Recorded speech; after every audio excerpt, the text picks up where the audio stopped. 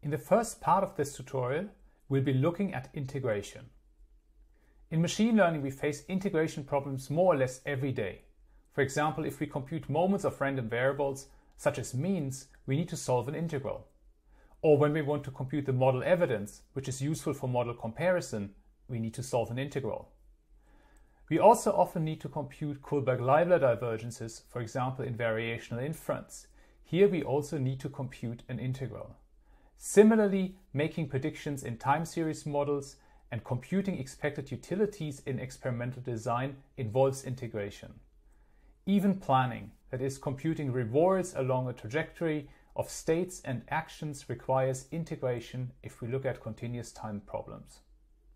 We see that integration plays a central role in machine learning, but unfortunately solving integrals is hard in general. In this tutorial, we will look at different ways to compute integrals. The easiest solution to an integration problem is an analytic solution. There are books written on exactly this topic and sometimes it's worthwhile checking this out.